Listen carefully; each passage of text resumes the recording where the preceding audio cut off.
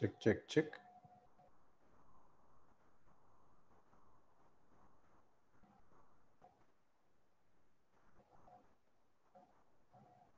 Are we live? Sunil? Not yet. Yes, ma'am, we are live, ma'am. All all platforms. Welcome uh, everyone to this uh, webinar and this is a webinar with a difference today.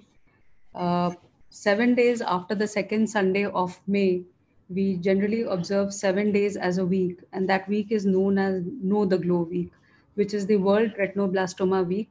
So beginning from 10th May to 17th, 17th May, we've had uh, World Retinoblastoma Week to make uh, people aware about the eye cancers which are uh, there in the children's eyes.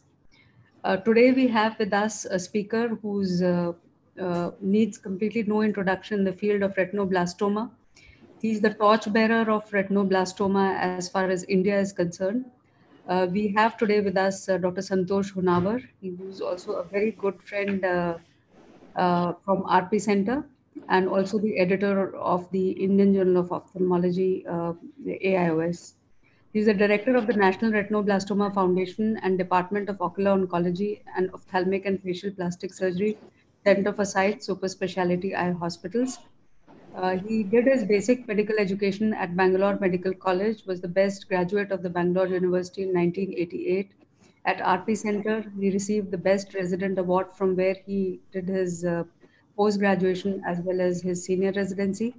He further trained in ocular oncology at Wills Eye Institute and thereafter established the comprehensive ocular oncology service at LV Prasad Eye Institute, Hyderabad, the first such in the country. And currently, he heads the National Retinoblastoma Foundation and the Department of Ophthalmic and Facial Plastic Surgery, Orbit, and Ocular Oncology at the prestigious Center for Sight, Hyderabad. He's done a lot of work in retinoblastoma, ocular surface, and orbit, and he has uh, more than 150 publications in the international peer-reviewed journals to his credit. He's recipient of the major awards and honors. You name any international or national award and he has it. It includes the Pfizer National Award, the Rangachari uh, Gold Medal by the AIOS, the Arvo Santon International Fellowship, Ziegler International Fellowship, Orbis International, Young Scientist Award, uh, Indian Society of Oncology, Best of the Show Award by the American Academy of ophthalmology for surgical videos uh, several times, uh, Senior Achievement Award by the American Academy of Ophthalmology, which he uh, received this year, though he doesn't look that senior. And of course, uh, to top it all, the prestigious Shanti Swarup Bhatnagar Award from the Government of India in 2009. It is my pleasure to welcome Dr. Santosh Honavar and uh, to uh, ask him to give, give his talk on retinoblastoma. Before that, I would like uh, Professor Mahipal Sachdev, who's the president of All India Ophthalmological Society, to say a few words. Well, uh, good evening, everyone, and welcome to this webinar on uh, retinoblastoma. As uh, uh Professor Namrata has already said uh, things uh, about Dr. Santosh, but what I he's been associated with us for the last seven years now. And as much as I know him earlier as a resident and now as, as the leading light of, I would say, this entire region for the world for, oncology as also for ophthalmoplasty. I know that uh, he trains patients from all across India as also from overseas. But I think the singular biggest honor that he has got the lifetime achievement award the American Academy of Ophthalmology. I don't think any other Indian ophthalmologist has been put at the Lifetime Achievement Award for uh, ophthalmology by the American Academy of Ophthalmology. He's really somebody who also knows how to uh, give much of knowledge and education to the postgraduates and to the fellows uh, that I know that uh, the most sought after fellowship uh, uh, in Center for Sight today is for ocular oncology at Hyderabad and uh, also he knows what the ophthalmologists want as their teaching training, whether it is going to get exams uh, done, postgraduate, uh, etc. So overall, I think he's a fantastic teacher, a great human being, and somebody who actually uh, I found uh, So Namrata is also sitting here. She's also one of those uh, where the, they are work alcoholics. And uh, the turnaround time for both of them or uh, also for Santosh is uh, near zero. So I think uh, it will be great because he has so much of knowledge bank about retinoblastoma, its treatment. He's up to date with all that is there. It will be a great uh, learning and listening for all of us in AIOS and specifically those who deal field of oncology. So I think uh, without much ado, uh, we would uh, wish to start with this uh, presentation. We hope would be really, really very excellent and we'll get a lot of knowledge.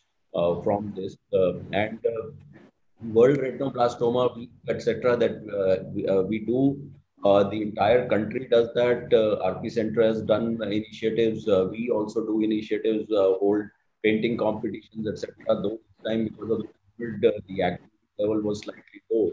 But I think uh, this is something which is very, very important because it's the commoner, commonest ocular tumor uh, in uh, the childhood. So over to Dr. Santosh for uh, his talk on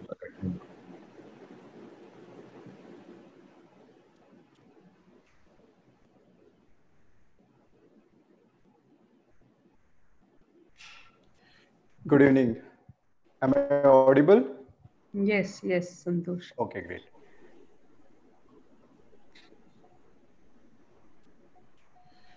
Uh, it's a pleasure to uh, speak on the platform of uh, AIOS webinar because it is one of the prestigious uh, webinar platforms that we have and is uh, very well received and attended thanks to the efforts of AIOS office bearers. It's a pleasure to speak on something that is very close to my heart, that's retinoblastoma, especially during uh, the retinoblastoma awareness week. Why should we know about retinoblastoma? Because it is the most common intraocular malignancy in children. It is also a deadly tumor with a potential for up to 50% mortality and presents mostly to an ophthalmologist first, as opposed to any other malignancy which may go to any other specialist. Here, the child comes to an ophthalmologist with predominantly ophthalmic symptoms. And it is completely curable if it is detected early. So early detection and its primary presentation to an ophthalmologist give, puts us in a very unique uh, position to diagnose this and get these children treated.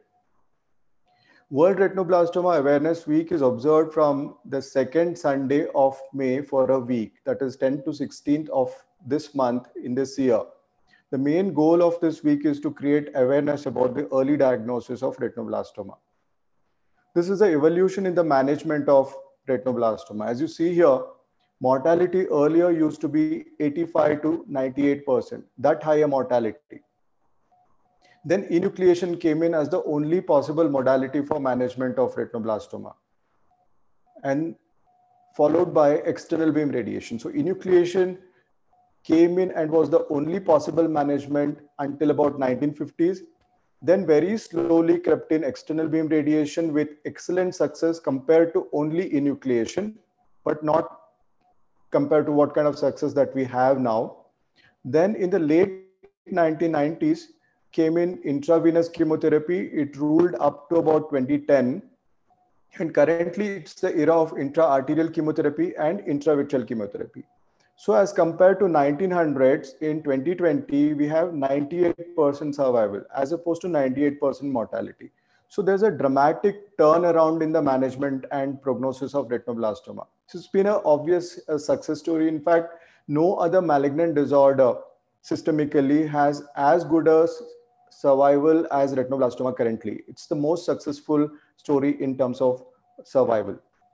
Essentially, that's happened because of early diagnosis and improved methods of treatment. In developed countries, that is the situation. Excellent care, excellent prognosis because of early diagnosis.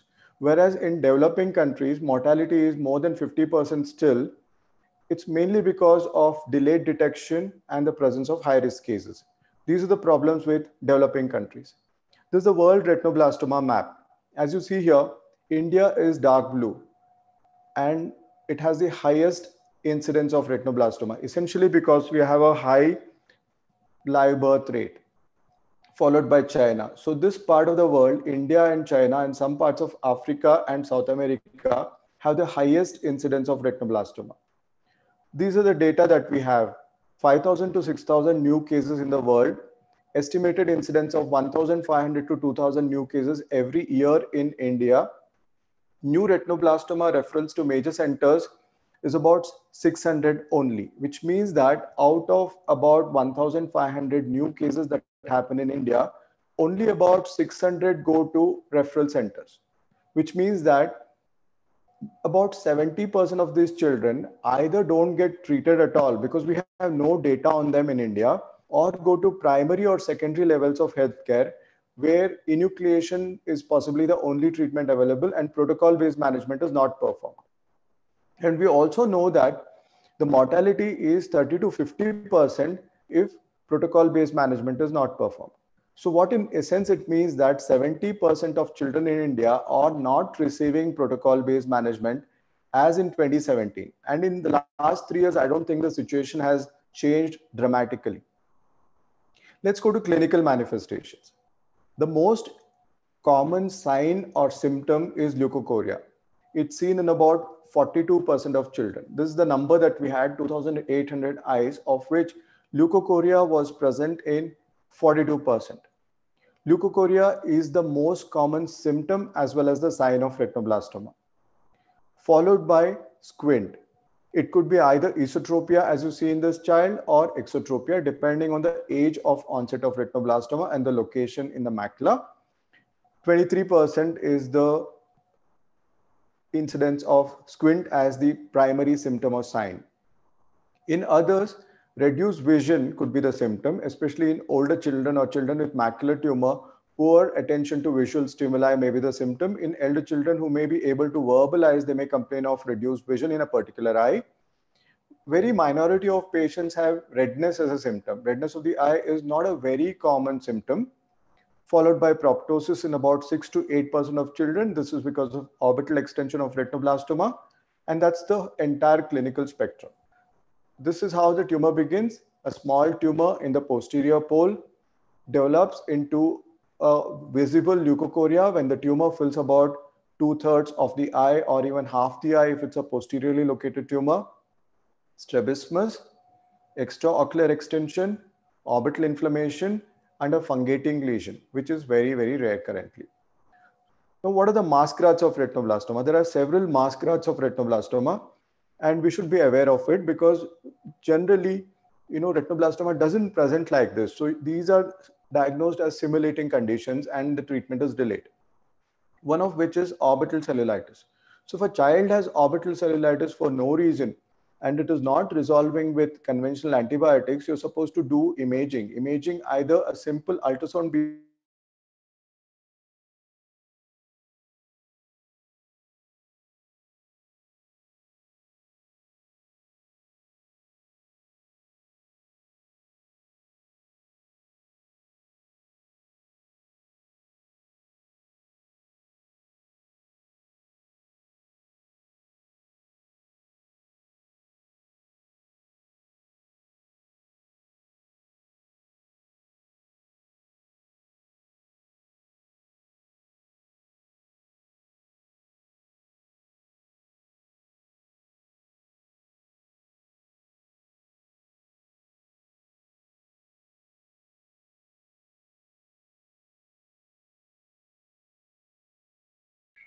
I think there is a small audio uh, net connection. I think Sujosh will need to log in again.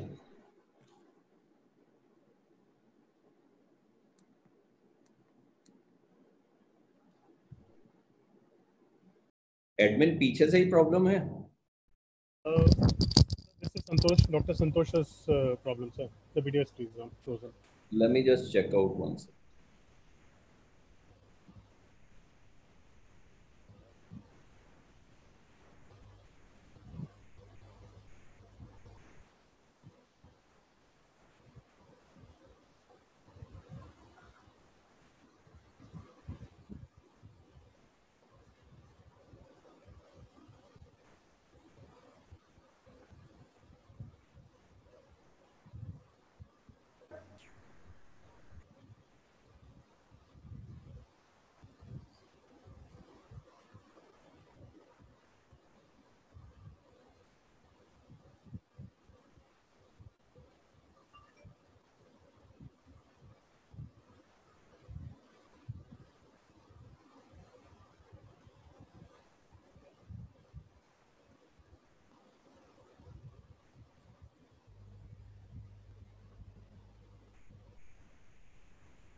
Was there a disconnection?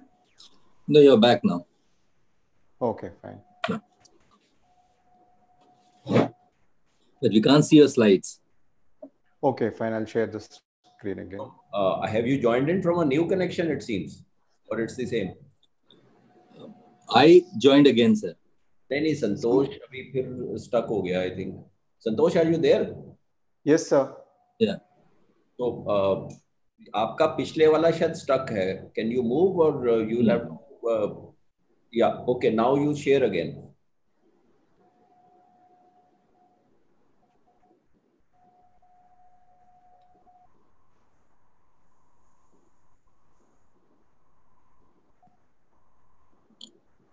Is it on? Yeah, yeah. it's everything fine. Yeah, go ahead. Okay. Sorry about that. So basically, uh, Luke, uh, after uh, orbital cellulitis, the second uh, uh, important simulating condition is hypopyon uveitis. So if a child were to have a white-eyed uveitis, as you see here, there is hypopyon all right. But what about the eye? There is no circumciliary congestion at all. So it's a white-eyed hypopyon. White-eyed hypopyon is a manifestation of retinoblastoma or medulloepithelioma. So if a child were to have hypopyon for no reason and has no circumciliary congestion, has a quiet eye and has no posterior synechia at all, no signs of conventional uveitis, then you should suspect retinoblastoma.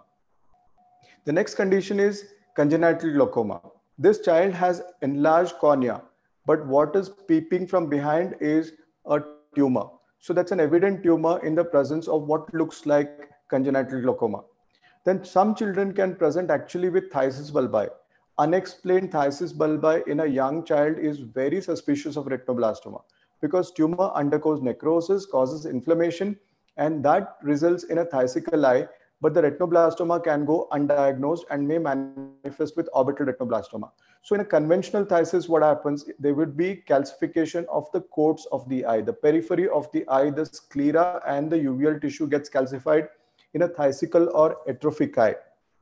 Whereas if it were to be retinoblastoma, when you do a CT scan, there would be intraocular calcification within the vitreous cavity. That is how on imaging you differentiate intraocular calcification, dystrophic calcification, a phthisic or atrophic eye from that with retinoblastoma. And that's a very important clinical sign to distinguish. The next masquerade is hyphema. You see this child has had a minor trauma. She even has a small lid laceration and she has a full chamber hyphema. Somebody did a hyphema drainage and they let the child be. They did not do a good ultrasound before the hyphema drainage was performed. Six months later, the child comes with extraocular extension, regional lymph node metastasis, as well as intracranial extension. So hyphema in a child with minor trauma should be suspicious of retinoblastoma and you should always do a ultrasound B scan if the fundus cannot be visualized in a child with hyphema. The next masquerade is vitreous hemorrhage. This child has traumatic vitreous hemorrhage or so the retina surgeon thought. The child has diffuse vitreous hemorrhage, but the child also has dilated blood vessels, which should not be there in a traumatic vitreous hemorrhage. This child underwent vitrectomy, I believe, by the retina specialist. The child unfortunately had a rhegmatogenous retinal detachment for which he has done a buckle. And now on top of the buckle, slope of the buckle, you find creamy white area. Posterior to the buckle, there is a creamy white lesion as well. So that is a retinoblastoma. This is how it presented. There was nothing in the posterior aspect at that point in time. Six months later, the tumor has crept posteriorly. We always believe that retinoblastoma starts in the posterior pole and goes peripherally. But there's a variant of retinoblastoma that starts actually in the periphery and creeps posteriorly. And that's diffuse infiltrative retinoblastoma in older children. This is the atypical manifestation, and these children don't have a tumor that is very evident. It's not an elevated tumor. They just have placoid thickening of the retina, which is sometimes not diagnosable. These children don't even have calcification. This is acalcific. Hence, even on ultrasound B scan, it can be missed. When we enucleated this child, you can see this is the histopathology of the same child. You see retina, this is the normal thickness of the retina. In the involved area, possibly retina is about two times thickened than the normal retina. There is no evident endophytic or exophytic mass you're used to seeing. right? So this is a diffuse variant of retinoblastoma, often manifests with anterior chamber seeding, such as uveitis, hypopyon, and also vitreous hemorrhage and hyphema, and you should be wary of it. This generally happens in older children. So these are the masquerades of retinoblastoma, white eye hypopyon, unexplained phthisis bulbi, cataract with neovascular glaucoma, orbital cellulitis, hyphema, and vitreous hemorrhage. We should be aware of these manifestations. Now, clinically, retinoblastoma is of four types. When you look at it on in, indirect ophthalmoscopy or do an ultrasound, it could be an endophytic mass. Endophytic retinoblastoma is more, most common, where the tumor grows into the vitreous cavity and also it has vitreous seeds. Whereas exophytic retinoblastoma produces typically subretinal fluid and also subretinal seeds. So vitreous seeds are classic of endophytic retinoblastoma, whereas SRF and subretinal seeds are classic of exophytic retinoblastoma. We already talked about diffuse infiltrative retinoblastoma and what is left is the mixed configuration where a child has a bit of that and bit of this. There could be an endophytic tumor predominantly with a small exophytic component.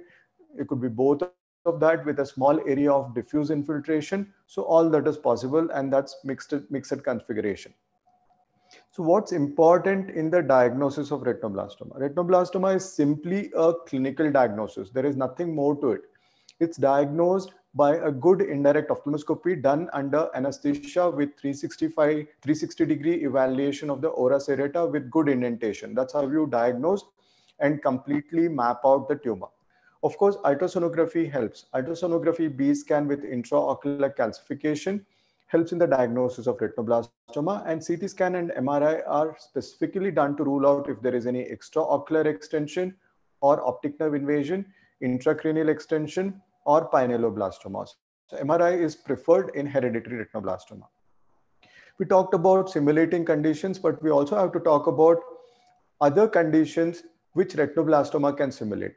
These are the five top simulating conditions which retinoblastoma mimics. Coats disease, PHPV, toxocariasis, astrocytic hamartoma, and medulloepithelioma. These are the top five conditions. Some of these children get enucleated with the diagnosis of retinoblastoma. We should be aware of it because this is something that we should understand. Now, in Coats disease, there is something called xanthochoria. Xanthochoria is this golden yellow reflex, whereas leukochoria is the white reflex.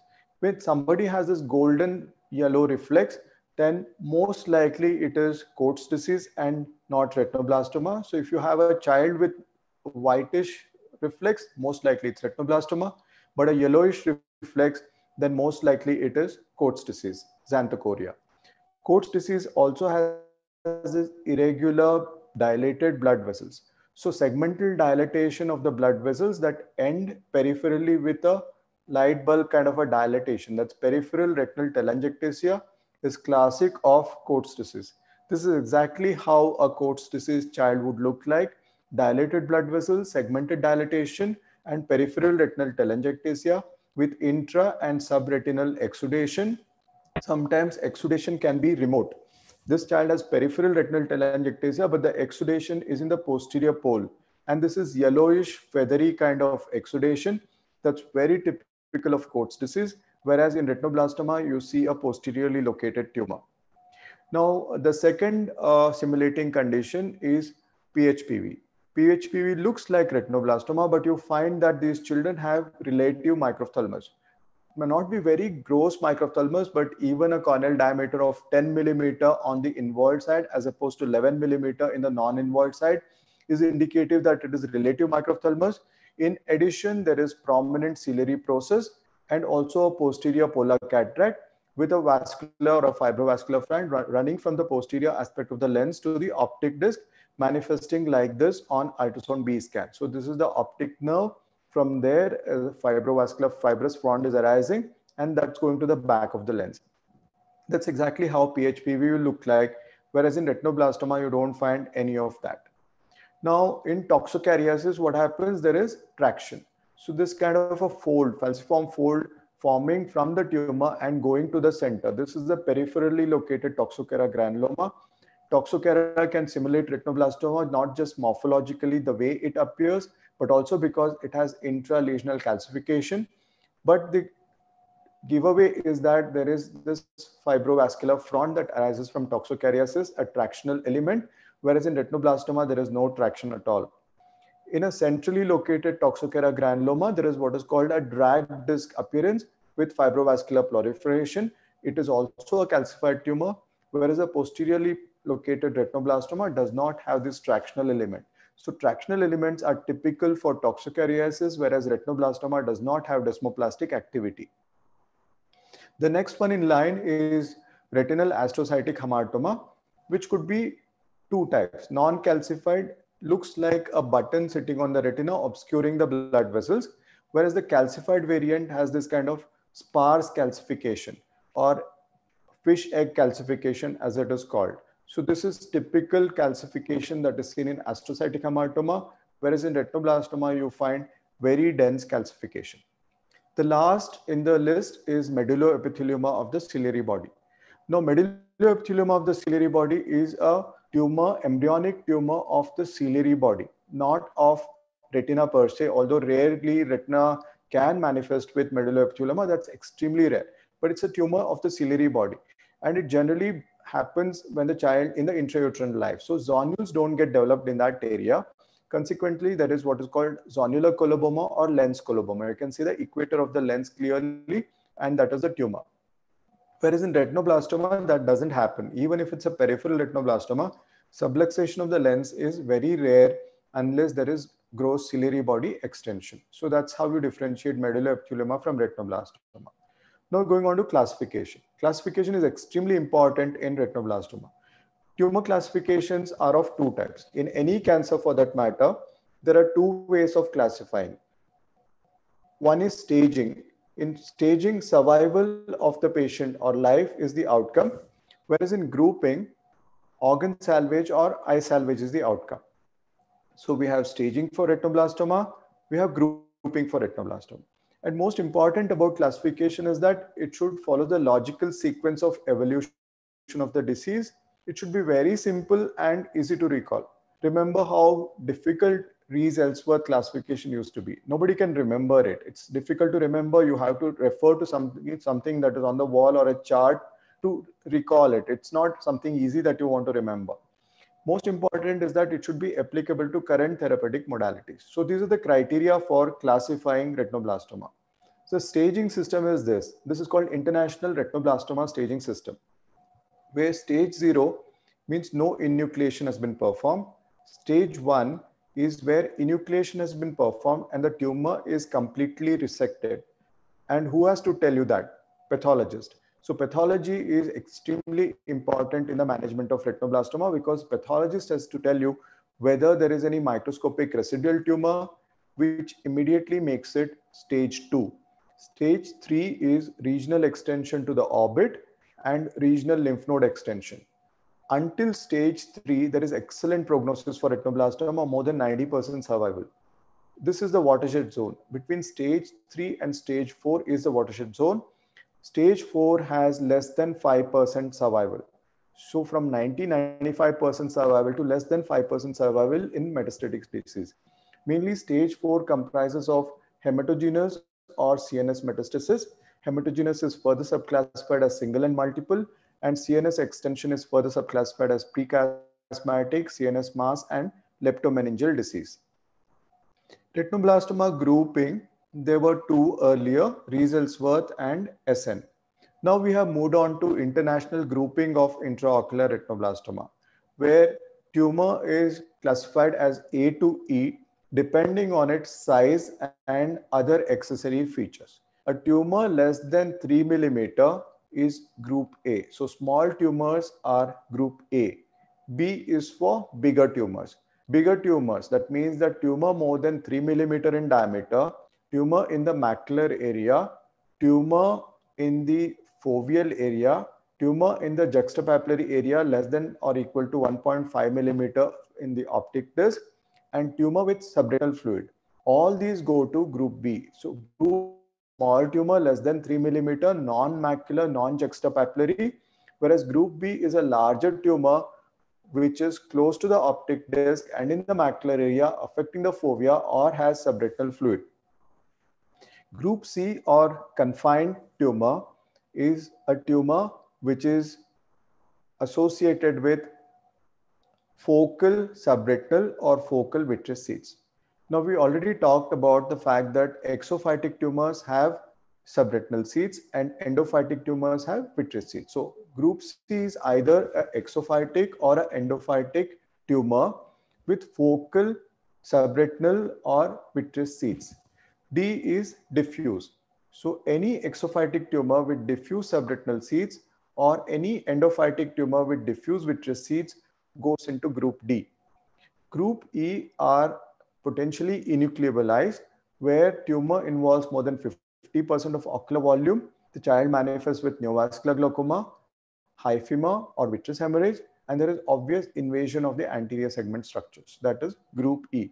This is international grouping of intraocular retinoblastoma. There are two variants, Philadelphia variant and the Los Angeles variant, but you don't have to go into those details, but grossly, this is how the international grouping of intraocular retinoblastoma is done. What is really new is TNM classification. TNM classification has two types, clinical T and pathological T. N and M, of course, are clinical and pathological. So clinical TNM is more important than pathological TNM. Of course, both are important in terms of complete uh, grouping of the disease. This is something which is a little difficult to remember. This is always a part of any research study that you do. You are supposed to classify using TNM currently. Most journals insist on it. What is the beauty of this TNM classification of retinoblastoma and AJCC 8 is the category of H.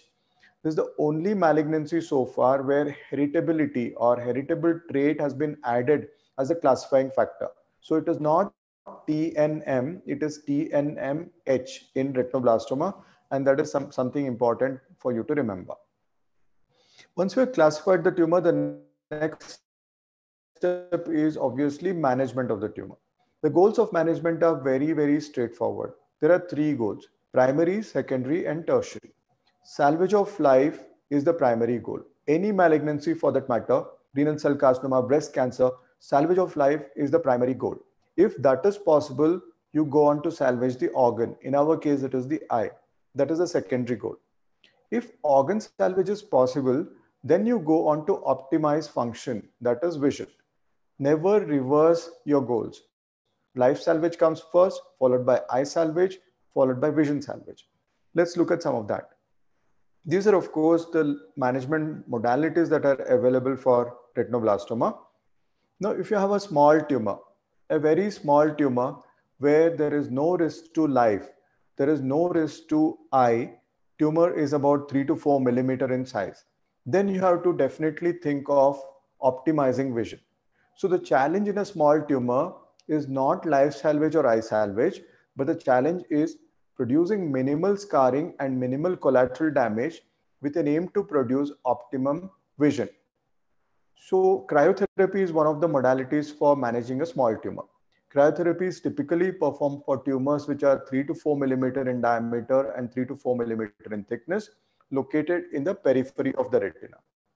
Now cryo is heavy cryo here. It is called triple freeze thaw cryotherapy, where the tumor is frozen thrice and thawed spontaneously thrice.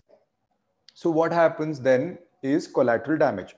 So small tumor like this ends up with a large scar. Of course, the tumor is gone. There is 90% success, but the scar is much larger than the tumor that you began with, which is okay for the nasal periphery. But if it's a temporal mid periphery, then it may cause epiretinal membrane formation, dragging of the macular fovea, may not the child may not have 20/20 vision.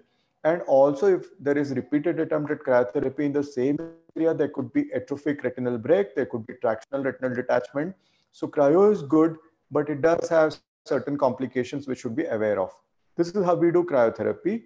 We elevate the tumor and center it on a three millimeter large cryo probe. Tumor is elevated on indented and centered. This kind of an indentation actually produces what is called temporary anemization. It reduces the choroidal circulation because you are indenting the choroid and the retina.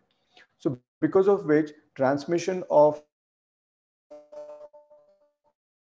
cold is rapid, faster. There is no leak of temperature. So tumor freezes faster and minimal collateral damage will be produced if you indent the tumor very nicely like this and freeze it completely. This is the tumor completely frozen and you see a small haze around the frozen tumor. That, that is nothing but a small layer of vitreous that is frozen along with the tumor. So the cryotherapy is so heavy that you have to stop not at the freezing of the tumor, but a small bit of vitreous, a cuff of vitreous around the tumor also needs to be frozen. So that's a heavy cryotherapy and that results in a large scar. That results in a scar like this. So the next uh, focal modality in management of retinoblastoma is or was photocoagulation.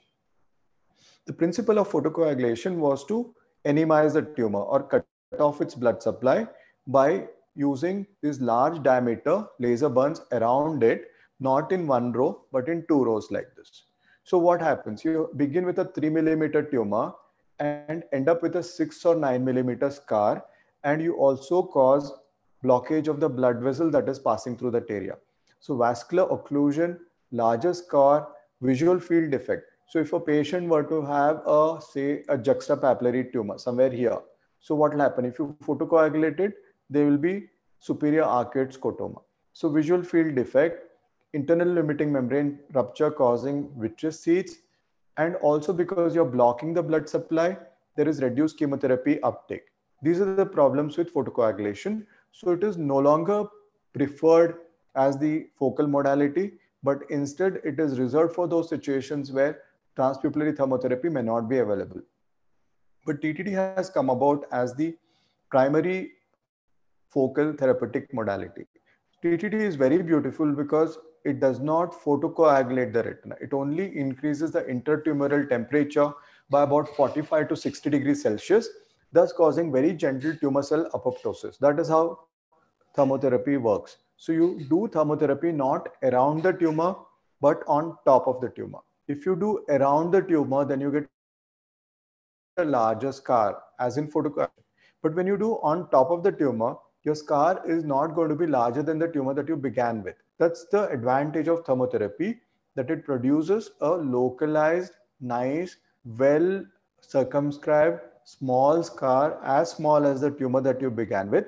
It's extremely safe to do in the paramacular area or very close to the fovea. There is no desmoplastic activity because you're not photocoagulating tissue here. You can see the blood vessels that are passing through the scar. You can see in high magnification are classically patent. So TTT has least damaging effect in terms of collateral damage to the surrounding retina, the blood vessels and the nerve fiber layer. And it is definitely the preferred option in the management of smaller tumors. Now, what is new in TTT is ICG enhanced TTT. That's called TTT plus, where ICG has a synergic synergistic effect with the wavelength that is used in transpupillary thermotherapy, that is semiconductor diode laser, and thus causes rapid regression of the tumor. It is typically used in patients where there is a tumor on top of a scar. Like this patient always had this scar, and this small tumor recurred on top of an avascular scar without any pigment background, where the uptake of normal TTT is going to be less so there, if we were to give ICG and then do simultaneous TTT, the uptake would be much better, resulting in regression. And in our series, we found a small series, of course, 80% regression in refractory tumors with ICG enhanced TTT, and that you can use as a part of your armamentarium. So in focal therapy, what is the current um, agreement is that less is more. That means that more gentle you are, more uh, gently are in terms of causing collateral damage, it's much better. And TTT has taken over focal management modalities. Now, what if you have a little larger tumor? Larger tumor means tumors which are not having any risk to life, but of course they may have some risk to loss of an eye or risk to loss of vision. Say a tumor is about 16 millimeter in diameter, 8 millimeter in thickness, etc. Plaque brachytherapy is extremely good it causes about 90% success in tumor control. This is how we uh, do dosimetry for a plaque. We determine how much the optic nerve is getting, how much the lens is getting in terms of radiation damage, and then provide a very safe plaque brachytherapy. This is the surgical step of plaque brachytherapy. You begin with a small uh, peritomy in the quadrant where the tumor is located. Dissect the tumor, dissect the Tenon's, isolate the extraocular muscle, and then measure exactly where you're supposed to place the plaque. This is determined by your indirect ophthalmoscopy, which you had already performed. Mark that area, localize it again by indirect ophthalmoscopy, either by using a transscleral uh, uh, um, helium neon laser or by visualization. That's a transscleral helium neon laser being used. That's the ruthenium plaque that goes in under the extraocular muscle and gets sutured to the sclera. So that is the end of the procedure. It produces extremely good result. You see plaque brachytherapy has regressed the tumor, but the disadvantage of plaque brachytherapy is that the subtle scar that is around the area of the tumor. See, this was the tumor that we began with. That's the regressed tumor three years later.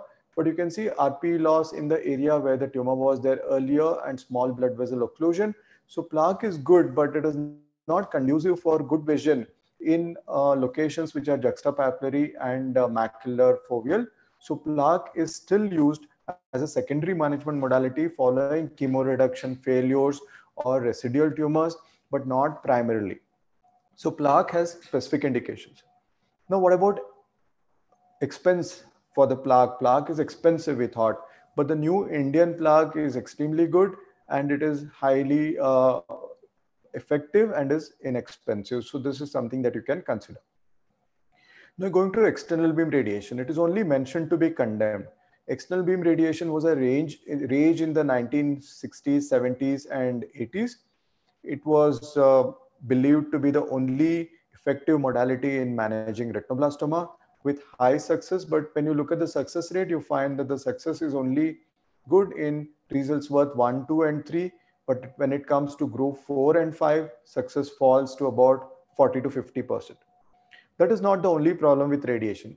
It comes with its set of complications, some of which are treatable, some of which are not treatable. Cataract is treatable, retinopathy is treatable, papillopathy is not treatable. Some children go into phthisis bulbi.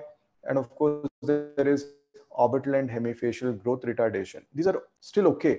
But what is not okay is second malignant neoplasm. Look at the incidence 35%.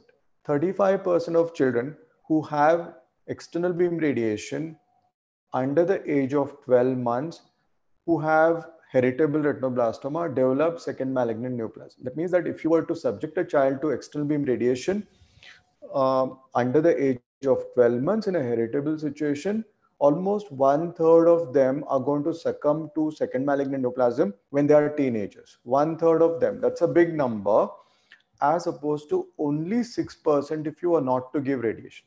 So you have a straightaway survival benefit of 29% if you were not to do radiation. So that is something it's very important. Radiation is never considered the primary management modality in retinoblastoma. It's only used for salvage, for orbital extension, etc. It's no longer favored. What changed the management of retinoblastoma was this November 1996 issue of Archives of Ophthalmology, now called JAMA Ophthalmology, where there were a set of four articles, each describing the same treatment modality, chemotherapy. Chemotherapy, they called it chemoreduction and chemotherapy plus local treatment. So basically, chemotherapy with local treatment has arrived. It was in November 1996 that it was reported. And from there on, it simply took over it changed the management of retinoblastoma. It was actually a paradigm change from the hazards of radiation and enucleation, where uh, children still develop metastasis. This was a pleasant change where you could save life, you could save the eye, and you could also save vision. Chemotherapy initially started as intravenous standard dose. Now there are several forms of chemotherapy, intravenous high dose, neoadjuvant chemoreduction, adjuvant chemotherapy, intra-arterial chemotherapy, periocular in the form of injection, and even epibulbar drug delivery system, which is called a chemoplaque, intraocular chemotherapy, intravitreal, and intracameral. Now, intravenous chemotherapy or chemoreduction, as it was called, IVC, is a method of reducing the tumor volume to allow for more focused, less damaging therapeutic measures. It was hailed as it was like going back in time. Example given is like if you have a tumor which is about 20 millimeter in diameter, you can actually make it shrink to about five or six millimeter in diameter before you hit it with laser. So you're actually going back in time as if it is diagnosing a child about six months ahead of time. Even if the child has come to you with an advanced tumor, you can make it shrink and make it smaller before you deliver focal therapeutic modality. Drugs are very simple and straightforward. Carboplatin, etoposide, and vincristine, very common, inexpensive drugs. But before each cycle of chemotherapy, you do uh, external examination under anesthesia and then do what is called a chemocryotherapy. Chemocryotherapy is a small spot of cryotherapy in the extreme periphery to break the blood retinal barrier so that there is increased intravitreal uptake of chemotherapy. And you can also start focal therapy from cycle four onwards. Now, how does chemotherapy help? Chemotherapy makes the tumor smaller. So chemotherapy helps produce a smaller scar. This is a tumor. This is one more tumor here reduced to a small scar, reduced to a small flat scar. The advantage is that macula is clear. Why does that happen? That happens because of this principle of chemotherapy or the tumor reduction, where the tumor always regresses to its source of blood supply. This is a very nice example.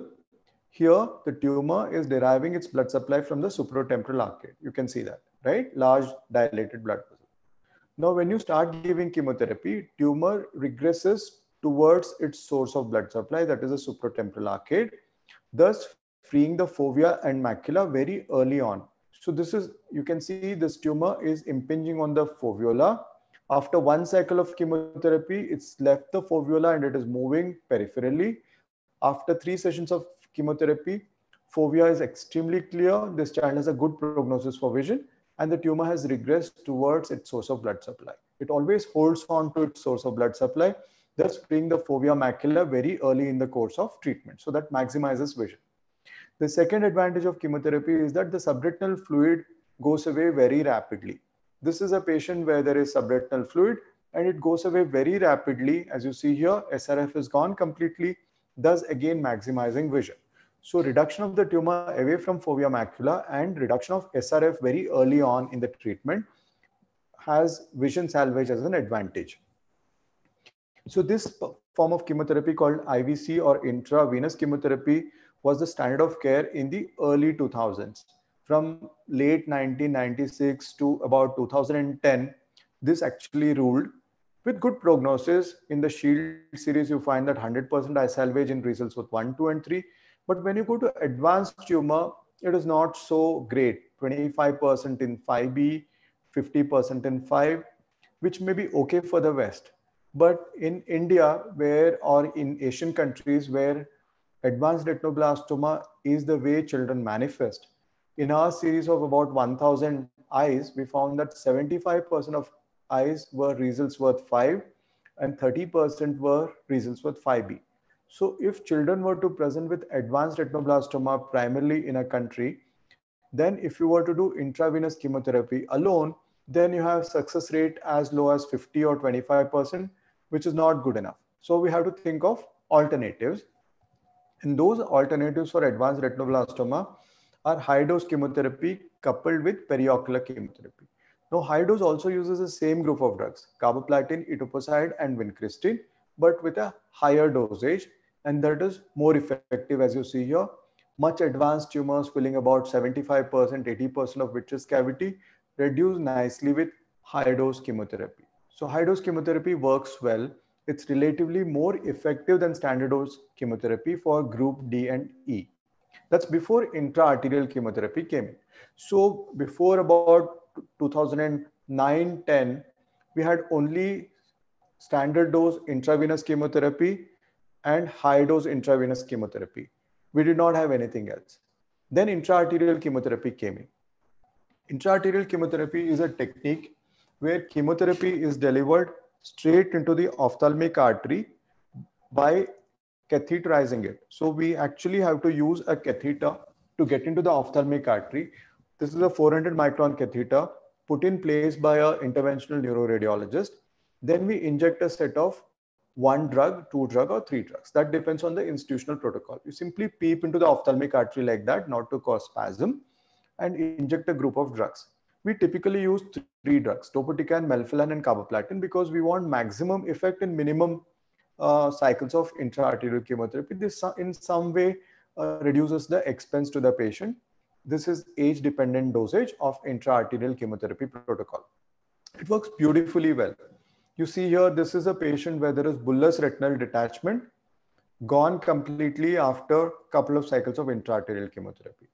One more child with bullous retinal detachment, tumor is nicely calcified after three sessions of intraarterial chemotherapy. Similar example. So intraarterial chemotherapy works extremely well in advanced retinoblastoma. You see that this is about 75% of vitreous volume, reduced to a almost flat scar with the optic nerve and macula nicely visible following three sessions of intraarterial chemotherapy. Even in secondary recurrences, so this child had a calcified scar earlier, suddenly he comes with a local tumor recurrence, and that was treated with a session of intraarterial chemotherapy. So it can be used as primary modality of management of retinoblastoma or for recurrences. Technically, it is very feasible. 98% is the cannulation rate in our series with only two patients needing balloon, the cost is the only barrier.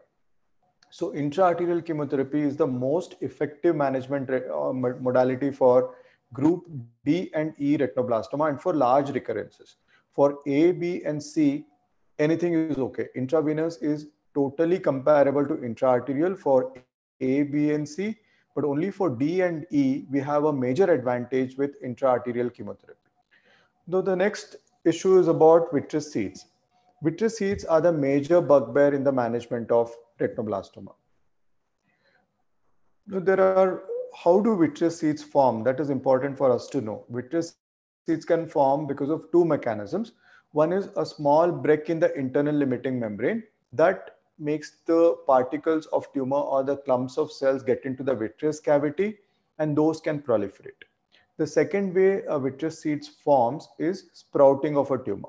Suppose there is an endophytic tumor, a small sprout or a bud will form on an endophytic tumor and the bud will break off and this free small tumor will get into the vitreous cavity and will proliferate as a small spheroid part of a tumor. So basically it can sprout into the vitreous cavity. So either by breaking the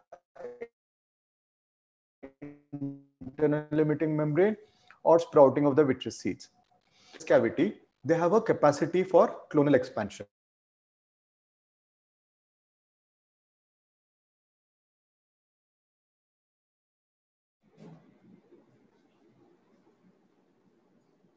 Admin, can you please see the regarding the connectivity?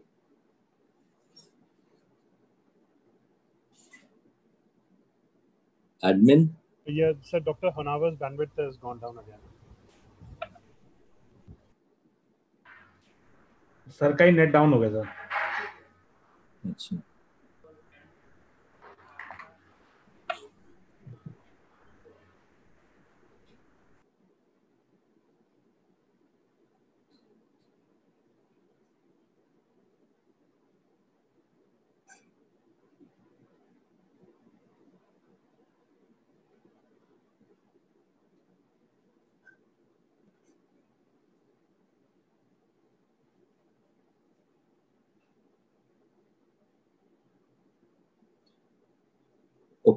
Yeah, yeah, please. Okay, he is uh, reconnecting and uh, we'll soon have him in the webinar.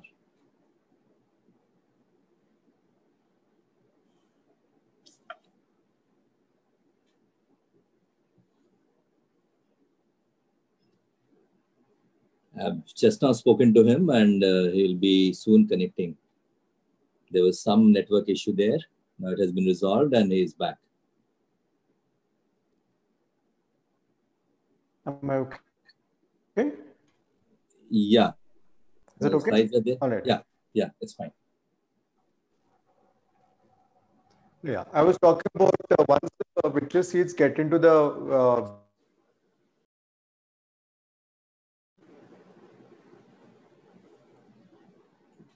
maybe there is some network issue you can uh, put your your own video off so that uh, your we can see your voice in the slides There's a uh, method. Okay, fine. Is that okay now? it's okay absolutely fine now All right. So one is adherence independent. That the cells need not settle on substrate, that is the retina. Cells can proliferate independently in the vitreous cavity and nutrition that is derived from the vitreous is enough for the cells to proliferate. This is called adherence independent growth. Whereas adherence dependent growth is the cells necessarily have to settle on the surface of the retina and then they can proliferate. So then they develop what is called epiretinal seeds. So adherence independent and adherence dependent growth pattern. Now, what are the types of retinoblastoma seeds? I'm not calling them vitreous seeds at this point in time. I'm calling them retinoblastoma seeds because that's the change currently. That is the very recent change. We only knew seeds as vitreous seeds earlier. That is how we knew, seeds. Now we have further classified them as prehyaloid seeds, subhyaloid seeds, epiretinal seeds, intraretinal seeds, subretinal seeds, and intracameral, which is further classified as depository and infiltrative. I'll briefly explain all of these. These are the classic vitreous seeds. We always knew that there are vitreous seeds and this is how they look like. Now with OCT, we can further classify them as prehyaloid seed depending on the location. This was by great work by Munier. Subhyaloid seeds, again OCT dependent classification. And in the retina, they could be epiretinal seeds, intraretinal seeds, and subretinal seeds. This is how they look like. This patient has epiretinal, subretinal, and intraretinal seeds. All types of seeds are present in the same patient. Now, in anterior chamber, you could have what is called depository seeds. That means that there is no contiguity. Vitreous seeds pass through the zonules, get into the anterior chamber, and settle in the anterior chamber. That is depository. Whereas infiltrative would mean that there is infiltration of the trabecular meshwork and the ciliary body and the iris, and the tumor cells come into the anterior chamber. So depository seeds are not dangerous. They're just an extension of vitreous seeds coming into the anterior chamber, whereas infiltrative seeds are more dangerous because they would have infiltrated the ciliary body, trabecular meshwork, and the iris before they come into the anterior chamber. Now, these are very typical infiltrative anterior chamber seeds. And you can see that there is a tumor tissue in the anterior chamber angle. And the first sign, even before you see something in the angle, is what is called a D-shaped pupil. There is straightening of the edge of the pupil in the area wherever there is angle or iris infiltration, which can even be subclinical. So if the child has a nice circular pupil, that is fine. Suppose for no reason, if a child were to develop a squarish edge to the pupil like that, a D-shaped pupil is an indicative indicator of anterior chamber infiltration. Now, what is the morphological classification of seeds, vitreous seeds? Morphological classification is again described by Munier, where he classifies them as dust, which are small particles of the seed in the vitreous cavity. Cloud, as the name indicates, a very dense collection of vitreous seeds where each seed is not seen discretely. That's a cloud. And sphere are large globules of vitreous seeds floating in the vitreous cavity. So we have a dust, we have cloud, and we have sphere, and then we have mixed. Mixed has all forms in the same eye. The next question is how do we treat vitreous seeds? There are two clinical situations. One is when there is a viable retinal tumor along with vitreous seeds. So there is a viable retinal tumor, but vitreous seeds are also viable. Then you cannot get into the eye. You cannot give intravitreal injection. So you do intravenous chemotherapy or intraarterial chemotherapy along with periocular chemotherapy. When there is no retinal tumor which is viable and there are only residual vitreous seeds, then we give intravitreal chemotherapy. That is how we treat. Now, periocular chemotherapy is given deep posterior subtenons. This is how you give it between two recti. it could be in any quadrant ex except supratemporal, deep posterior subtenon. Supratemporal because you don't want to inject anywhere around the orbital lobe of the lacrimal gland. That's it. So it is, we inject either carboplatin or topotecan. Topotecan is currently favored, 2 milligram is the dose. Then it produces nice results, which is it start going away. This you can start off right from the first cycle of intravenous chemotherapy. There is no restriction to the number of injections. You can go up to six to eight or even 12 injections. These are some of the results of periocular chemotherapy. What it does is it makes more of the drug topotecan or carboplatin get into the vitreous cavity more than what intravenous chemotherapy can get into the vitreous cavity. And that has a tumoricidal effect on vitreous seeds. So you can see all the clumps of vitreous seeds nicely calcified after periocular chemotherapy. This is a beautiful regression with periocular chemotherapy. This is how the child presented with massive amount of vitreous seeds, optic disc even obscured, clouds of vitreous seeds, clumps of vitreous seeds, powdery material, all gone and the tumor calcified, disc is seen, macula is seen fine after six injections. We found about 75% success in eye salvage with this high dose chemotherapy technique. And with uh, topotecan, we found about 70% success. So what happens when there is intravitreal uh, vitreous seed when retinal tumor is completely gone? Then we give of the injection confirmed by a careful indirect ophthalmoscopy. Hypotony is achieved by applying gentle pressure over the eye for a few seconds. Under aseptic precautions, the eye is draped. After placing the lid speculum, pars plana is marked at an appropriate distance away from the limbus. Age-based method was used to determine the safe site for injection under the guidance of operating microscope, a 32 gauge needle mounted on the tuberculin syringe is introduced into the center of the vitreous. The needle is steadily held in place and appropriate dose is injected gently. A 3 mm cryoprobe is applied to the puncture site with the needle still steadily held in position the needle is withdrawn through the consolidated ice ball that forms around its base, thus precluding fluid reflex through the puncture site. Triple freeze thaw cryotherapy is performed at the injection site.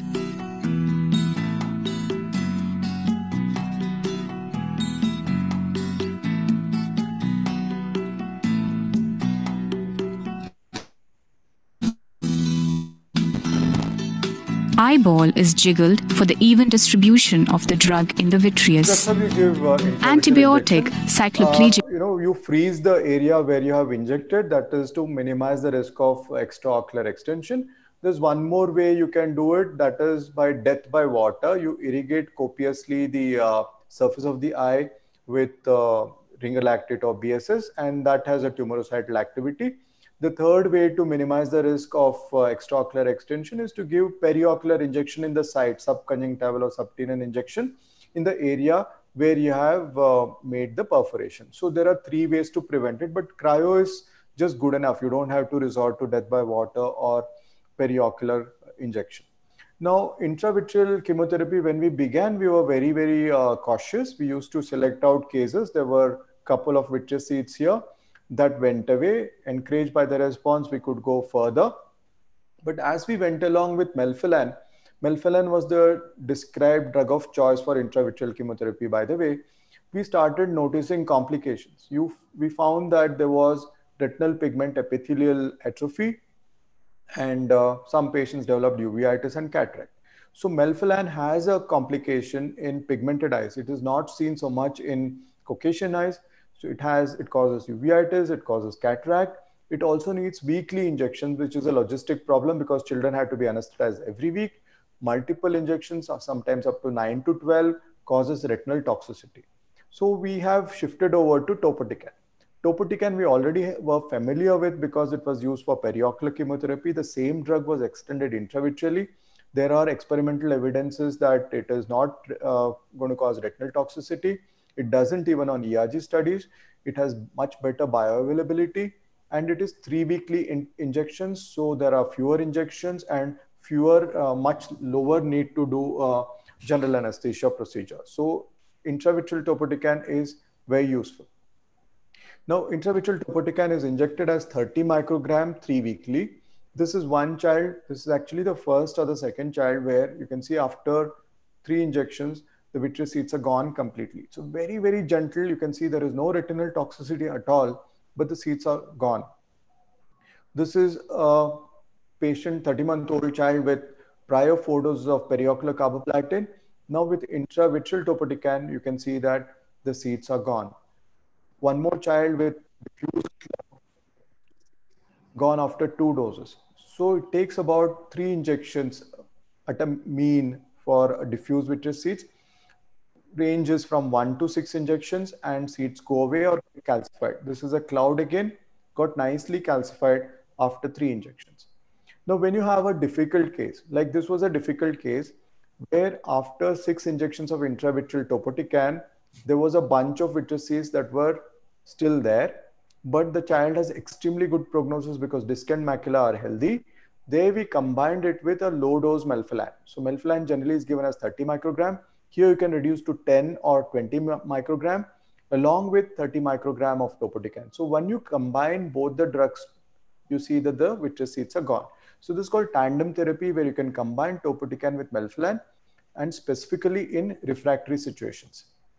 This is one more example where you find that after intravitreal topotecan six injections, there's a bunch of vitreous seeds remaining. And when we combined it with melphalan, the same seeds have gone completely. So something that is very useful clinically is tandem therapy. When we reported it initially, we had 100% success with uh, topotecan. These were highly selected cases. But when you start using them in almost every patient where there is diffuse vitreous seed, the success falls to about 85 or 90%, which is still good enough. You know, when we began, we had no success for vitreous seeds. In fact, radiation was the only treatment that was available for vitreous seeds for which were residual. Now we have this option, which is 90 to 100% successful. When we start treating vitreous seeds, we should know how uh, they regress also. That's very important. Otherwise, how do you judge clinically that seeds have regressed or not? Complete disappearance is called type 0. Conversion into calcified seeds is type 1a or crystalline refringent dust is type 1b, amorphous non-spherical seeds is type 2, and a combination of regression of type 1 and 2 is called type 3. This is by Munier. Suppose, for example, if you have a plump, large vitreous seed like this, it becomes nicely crenated and calcified. That is one way of regression. The second way of regression is this large plump seed becomes much smaller and gets densely calcified.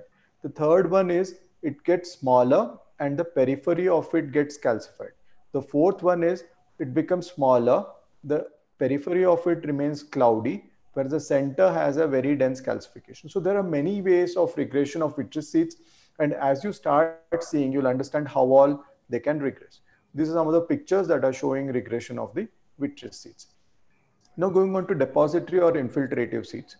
Now in depository or infiltrative seeds, there is uh, differentiation is very important. If it's only depository, then you can do either intravitreal topotecan. As you see here, intravitreal topotecan was successful in this patient and the anterior chamber seeds have gone. And in this patient, intracameral chemotherapy, 5 microgram of topotecan was all that is required to get rid of the seeds. So if there are depository seeds, you can do, do either intravitreal topotecan or intracameral topotecan. And if there are uh, infiltrative seeds, then you have to do plaque brachytherapy as well. Now, the newer uh, development is that if you have a bunch of subretinal seeds, one way to get rid of subretinal seeds is to do heavy laser or thermotherapy. Now, intravitreal chemotherapy can also take care of subretinal seeds. You can see the same patient after a few injections of uh, intravitreal chemotherapy topotecan these subretinal seeds are gone. So this is a newer development where subretinal seeds can be treated with intravitreal chemotherapy. This is one more example, bunch of subretinal seeds, very, very dense subretinal seeds after six cycles of chemotherapy, gone totally with intravitreal chemotherapy, no laser required. So consequently, when you don't do laser, then the retina remains very nice and healthy and there is good prognosis for vision. This is the close-up picture where you see that, you know, there were a bunch of subretinal seeds gone with intravitreal topotecan. So it can be used for subretinal seeds as well. So retinoblastoma seeds are seem to be conquered finally. Now, can we salvage eyes which are potentially unsalvageable? These are unique situations where there is bilateral retinoblastoma and for the sake of a macular tumor in the right eye, you might start on initial chemotherapy and then you plan to enucleate the worst left eye later. And left eye has neovascular glaucoma, large corneal diameter, high pressure. These are potentially enucleable.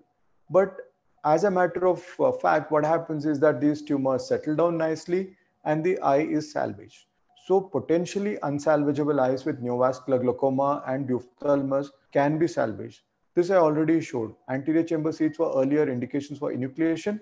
Now they can be saved. And this is a child with limited orbital extension. You see that there is a limited orbital retinoblastoma and that is completely gone and the tumor is completely calcified after intravenous chemotherapy. So there is a possibility of salvage of unsalvageable eyes. This is just incidental. We don't purposely do it. If it's a bilateral retinoblastoma, you treat the other eye and incidentally some of these advanced eyes get salvaged and that happens in about 60% of situations. So if you have a child, the corollary is that if you have a child who is one-eyed, that means other eye is enucleated and you have an advanced retinoblastoma in the only eye with a advanced retinoblastoma, which is potentially enucleable, you can try to salvage it by judicious, intensive, and customized treatment if there is no risk to life. So if there is risk to life, you up, upfront enucleate, but if you find that there are no clinical risk factors and there is no risk to life, then you can try to salvage these eyes. So with all these put together, you can see much better success in eye salvage. 90% in 5A and 80% in 5B. This is putting everything together, including intravitreal intracameral chemotherapy. So in a minority of patients, you, you would still need enucleation. In 1970s, 95% of unilateral retinoblastomas were enucleated. In 2005, 25% of unilateral retinoblastoma were enucleated. Primarily, currently it is about 5% or maybe 10% in some centers that are primarily enucleated. So, so enucleation still has a role, but it is much less. Before we go on to enucleation, it is important to know if there are any, if there is any possibility of neoadjuvant chemotherapy before enucleation. This is in the literature. In patients who have clinical risk factors for systemic metastasis, especially advanced group E eyes, with neovascular glaucoma or uh, anterior segment infiltration, ciliary body infiltration, hyphema, vitreous hemorrhage, and sterile inflammation, would you give chemotherapy before enucleation to reduce the risk of systemic metastasis? Actually, there is no evidence so far that neoadjuvant chemotherapy before enucleation helps. But in certain situations, we still do it. Like this patient with sterile inflammation where sclera is indurated, if you were to attempt primary enucleation, there might be perforation of the eye or excessive bleeding. This is one situation where you would give neoadjuvant chemotherapy. Another situation is if uh, the child has buophthalmos or staphylomas, where enucleation may be very difficult, or some parents want to wait for enucleation. That's a they want a mourning period for the eye. They might want to get enucleation after three months or so once they get, you know, psychologically settled down. So there are social issues as well. So in these situations, if you want to start neoadjuvant chemotherapy, that's fine. But if it is initiated, it should be completed as per the protocol. So if you cheat on neoadjuvant chemotherapy, that means that if you give three cycles and then do enucleation and then don't do anything else thereafter, then the child has a higher risk of developing systemic metastasis. So if you start neoadjuvant chemotherapy, it should be completed for six cycles. Now, enucleation has certain fundamentals. One is that primary implant is a must for every child. Primary implant, either silicone or PMMA, integrated implants are not preferred because vascularization of these implants may be impeded if you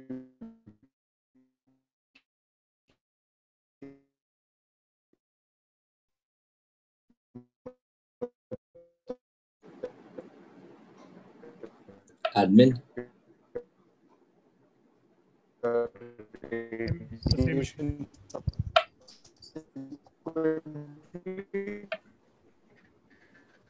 so primary investors was it not audible uh, Rajesh? yeah now now you're audible Okay. We just lost connection. So uh, your slide was there, but we were not. Uh, you were not audible. Now you are. Okay, fine. Yeah. It's okay. Yeah, it's fine. All right. So I was talking about enucleation, primary enucleation. What we follow is a myoconjunctival technique where each of the extraocular muscle is harvested and just attached short of the fornices. I'll show a video clip still, which is better than uh, showing still pictures. This is a child where myoconjunctival enucleation is being performed. This is a unilateral advanced retinoblastoma in a four-year-old child. Uh, you begin with a small lateral canthotomy. That's to increase the space that is available for enucleation. Then you do a 360 degree peritomy. Always use blunt tip scissors.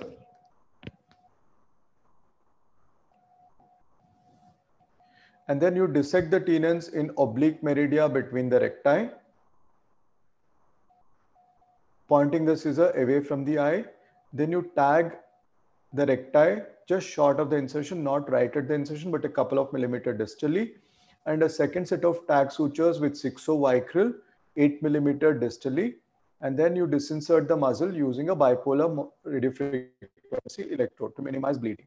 Each muscle is treated similarly, starting with medial, inferior, lateral, and superior in the order that they're inserted, then the superior oblique, and then the inferior oblique.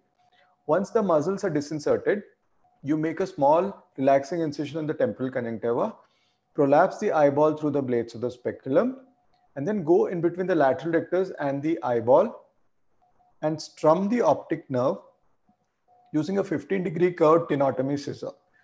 And once you reach the orbital apex, lift by 2 millimeter, then you engage the optic nerve and cut. You don't cut at the uh, apex of the orbit because you don't want to cut through structures that pass through superior orbital fissure mark the area where there could be, you can see the length of the optic nerve is 19 millimeter.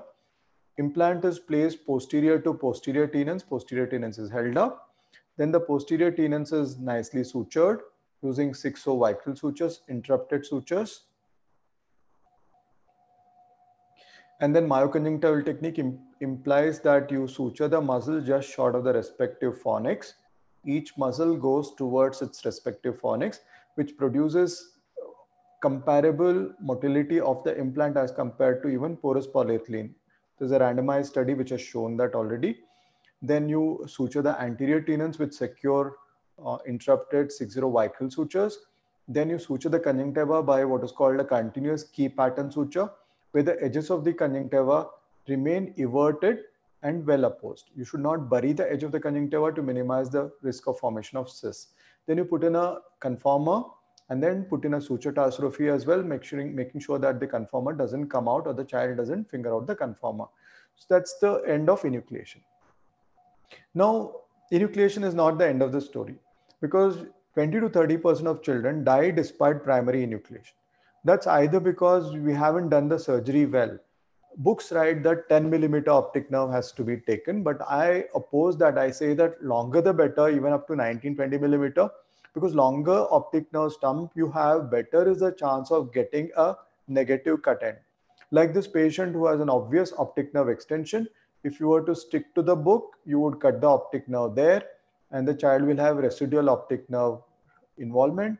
Whereas if you cut say at 1920 millimeter, you have a much less chance of having optic nerve positivity following enucleation. So refined technique is important and following enucleation, we have to identify the histopathological risk factors, which are seen in about 50% of children in India. And what are these histopathological risk factors? Anterior segment in, in, involvement, including trabecular meshwork and the iris, involvement of the ciliary body. This is also a high risk factor. Choroidal invasion more than 3 millimeter in thickness or more than 3 millimeter in diameter. That's called major, major choroidal invasion. And optic nerve invasion beyond the lamina cribrosa. So anywhere beyond the lamina cribrosa is a high risk factor. If a child has a minor choroidal invasion and optic nerve invasion of any extent, again is a combination high risk factor. In all these patients, you give adjuvant chemotherapy for six cycles. In patients who have optic nerve transection involved, extraocular extension. Then you give external beam radiation as well. Does this really help? There was controversy in the literature, but what settled was this study where we found that if you were not to give adjuvant chemotherapy, then 76% children survived, but remarkably 24% children developed metastasis. So one quarter of children died because of metastasis if you left them at the stage of enucleation without doing anything further. And if you were to go a step further, discover that they have high risk factors and were to give adjuvant chemotherapy, then the risk of metastasis fell to 4%. So this immediately gives you a survival benefit of 20%. So look at the number of children that you add to the list of survivors just by identifying high risk factors and giving inexpensive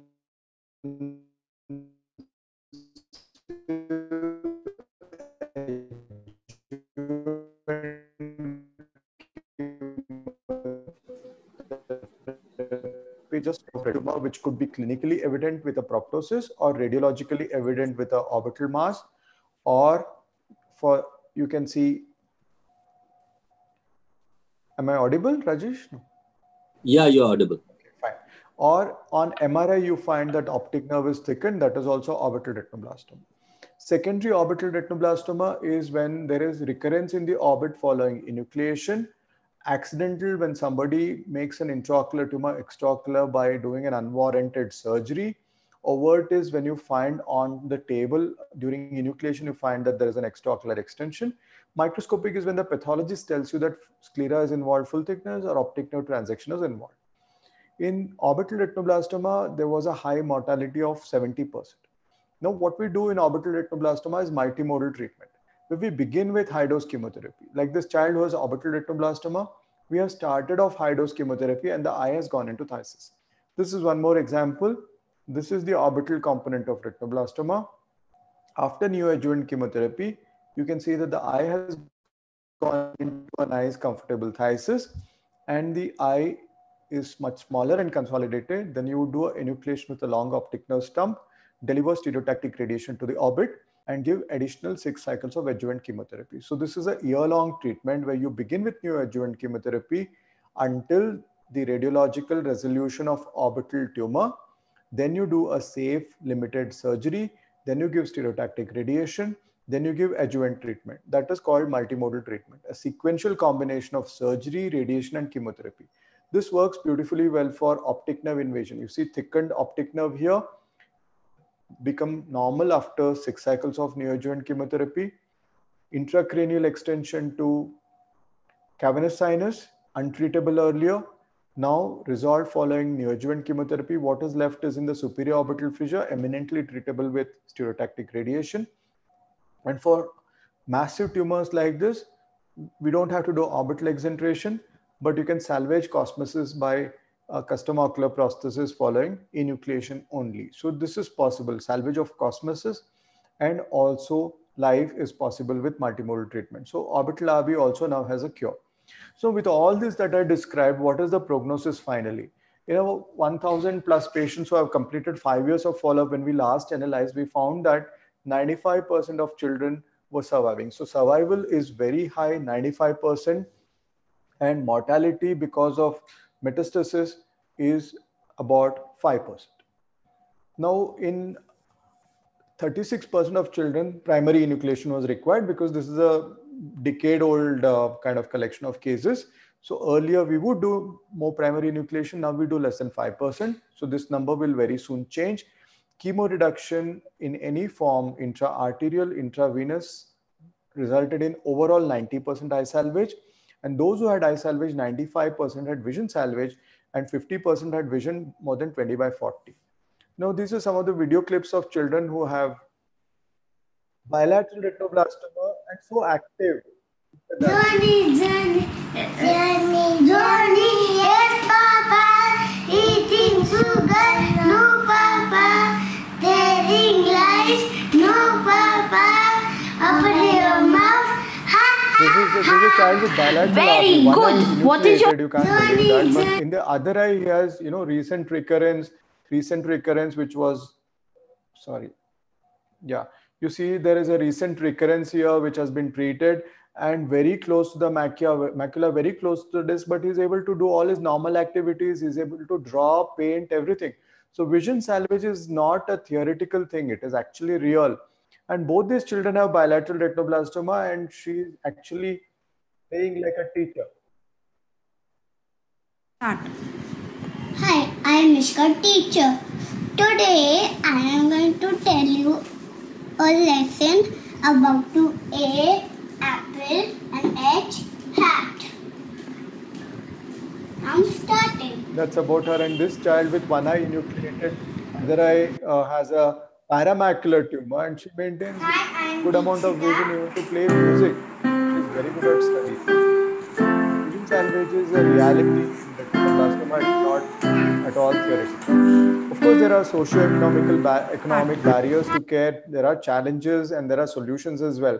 But if you have a nice uh, program where there is a social uh, worker and you channelize funding from NGOs such as CanKids, and uh, you know there are many NGOs which can uh, help you with more than 90% compliance success can be achieved in uh, uh, in, in follow-up and complete management. Future prospects will be in genetics, early diagnosis, improved focal therapy, focal drug delivery systems, and advocacy. This, of course, an old um, slide that Dr. Gary Gallie had lent to me, just to show how genetics can work. You know, this is a father who has bilateral retinoblastoma. His firstborn child had bilateral retinoblastoma, and they knew the mutation already in the father and the firstborn. When the second child was under conception, the child underwent prenatal diagnosis. The first child was born with bilateral macular retinoblastoma. So at the time of birth, the child had bilateral macular retinoblastoma. The concept was to induce delivery early so that when the child is born, there is no tumor. So they induced early delivery. The child was born with normal fundus. But as the child aged, a small tumor developed there. That was this is a small tumor that has developed. Dr. Gallie at that time did photocoagulation. The child maintains 2020 and advocacy tools. You can tell from a child's eyes if he's happy, when he's sad, frightened, or when he's sleepy. You can tell many things from a child's eyes, including if he's got cancer.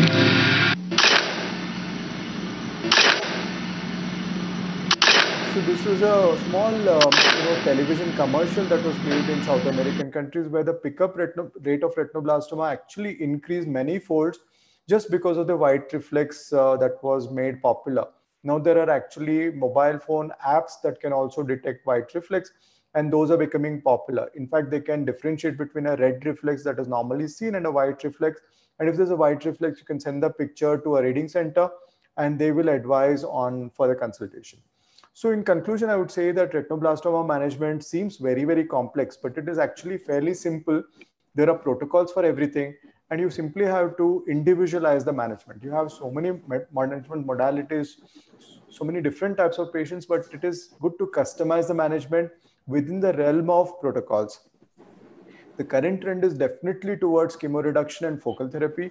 Chemoreduction with intra-arterial chemotherapy is the current trend and focal therapy with transpupillary thermotherapy is also the current trend with improving life, eye, and vision salvage. And most of the management modalities that I um, showed are cost effective and are very simple to practice. There is uh, no high science there. It is very simple, and most of these are accessible to many of us as ocular oncologists, along with, of course, help from uh, oncology departments. So finally, I would uh, conclude with this slide, retinoblastoma, they live and they're able to see all with protocol-based management. Thank you so much. If you have any questions, we would be happy to answer. Thank you. Thank you, Dr. Santosh. That was fantastic. Actually, in uh, 90 minutes time, you have completed retinoblastoma, covered everything and and it was such a meticulous explanation of everything that was really mind blowing. I must say that most of uh, the you know uh, viewers have everything clear in their mind. However, we do have some questions, and I would request you to answer uh, these questions. Um, uh, we can start with the first question that came, and that was how to differentiate peripheral retinoblastoma variant from coloboma. What is the question? Uh, how to differentiate peripheral RB variant from coloboma?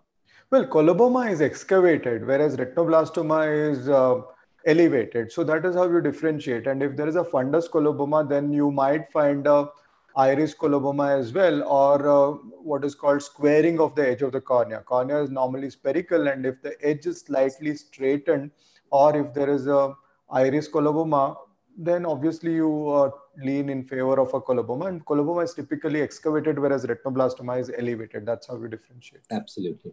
Uh, there's another question uh, dr abhishek wants to know what's the meaning of placoid thickness invariant?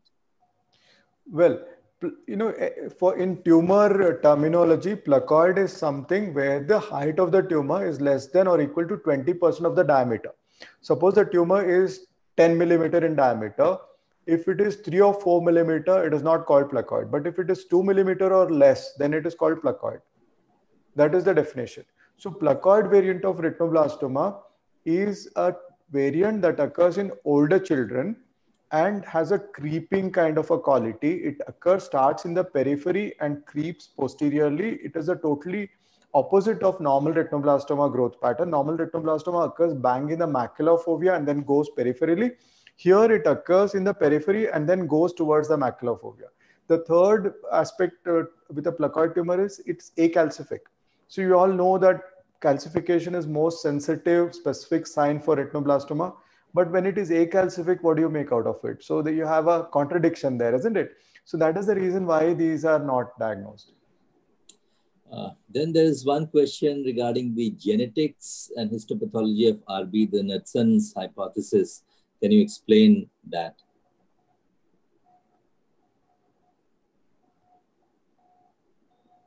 I did, uh, question. What was the question? Genetics uh, the question is, please explain yeah? the genetics and histopathology of RB, the Knudson's hypothesis.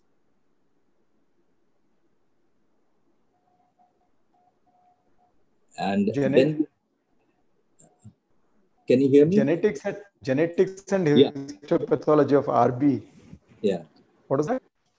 Yeah, it's genetics and histopathology of RB. Well, that is a lecture by itself. Uh, it's, it's actually a lecture by yeah. itself. I don't think I can explain it. We have one question that is how do you define microscopic residual disease in IRSS stage 2?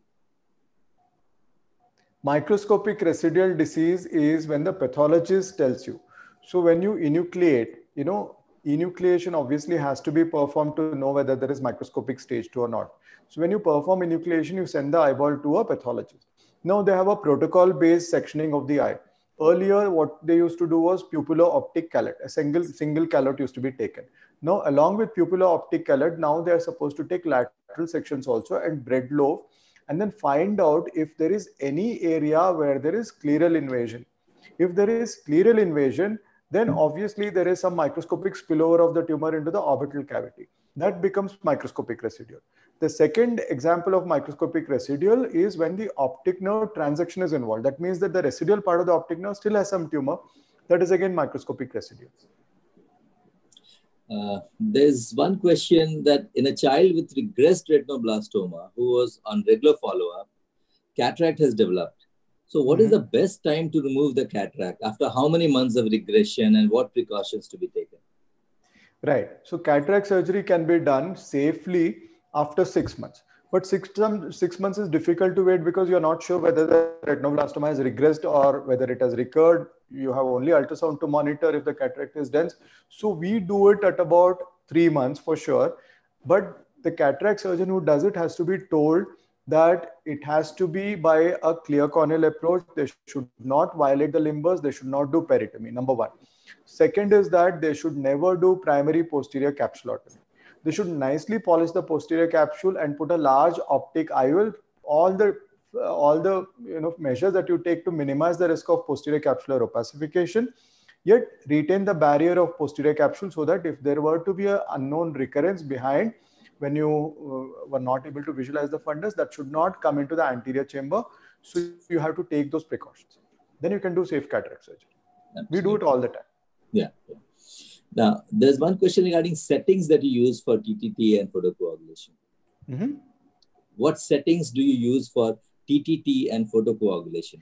Well, I don't do photocoagulation, but TTT, there is a graded approach. 300 milliwatts, 1300 micron is a spot size of the large diameter, large spot TTT machine, which is indirect ophthalmoscope delivery system. You can reach right up to the ora, where you start with a 300 micron, um, 300 milliwatt uh, PA, and you concentrate on the center of the tumor and use three spots and wait for subtle change in color. You should not photocoagulate. You simply have to make the tumor little paler. Once you see the subtle change of color, in the rest of the area, go you go and color match. With 300, if there is no color change, then you increase it to 500 or 600, and finally you go to 800. Beyond 800, it is not advisable because it causes rupture of the internal limiting membrane, thus causing vitreous seeds. So 800 is the highest limit I would go to and 300 is the lowest. Below, behind, below 300, you can go up 100, 150.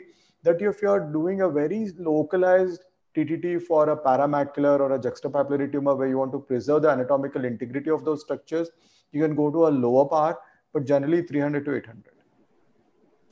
Then we have a question from Dr. Aditi Mehta. She wants mm -hmm. to know, uh, should LIO photocoagulation be done only around tumor or also on the top of tumor like TTT? LIO, I don't advise, but LIO, if you do it, it has to be done around the tumor because LIO has a smaller spot size. Even if you reduce the power or energy to a much lower level, there's a very high risk of ILM rupture. Now, ILM rupture can cause vitreous seeds. So that's how Hungerford, um, uh, you know, when he described his series where he had a higher chance of vitreous seeds following photocoagulation, he uh, actually described that the photocoagulation was done on top of the tumor. But when you do it around the tumor, that risk of vitreous seeds is gone.